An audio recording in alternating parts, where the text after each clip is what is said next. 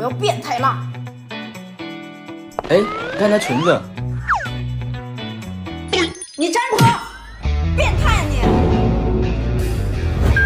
哎哎，光天化日你你与其打我，不如先保护好自己。这些钱就当赔你裙子了，我还有事，先走了。这么多你就是我儿子的女朋友吧？啊！别装了，你刚才跟我儿子搂搂抱抱，他还给你钱，我都看到了。我给你五百万，你离开我儿码六个零。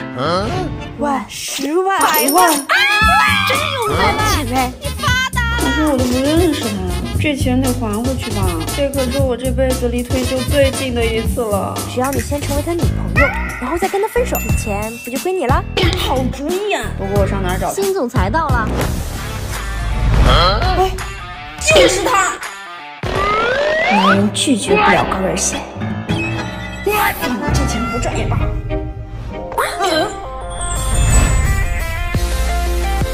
真巧，又碰到了。竟敢勾引新总裁，你死定了！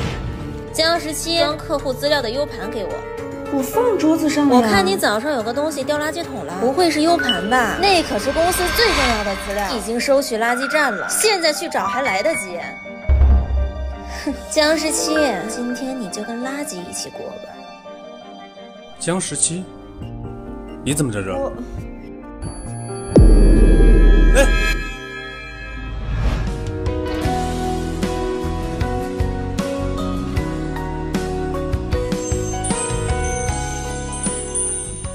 你我你我们你江小姐，你的衣服我都给你早点休息。啊！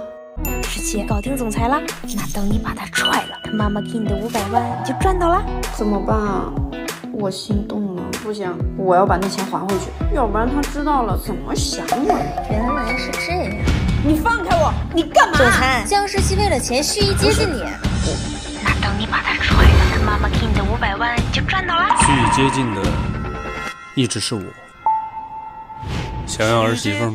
给你五百万，帮我拿吧。这个爱马仕包送你，厉总，我一定再接再厉。马上五二零了，送十七什么礼物他会开心？我早就准备好了。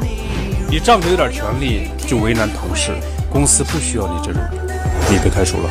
凭什么？你怎么会喜欢她这样的女人？我就是喜欢她，喜欢我？因为我的命都是她救的。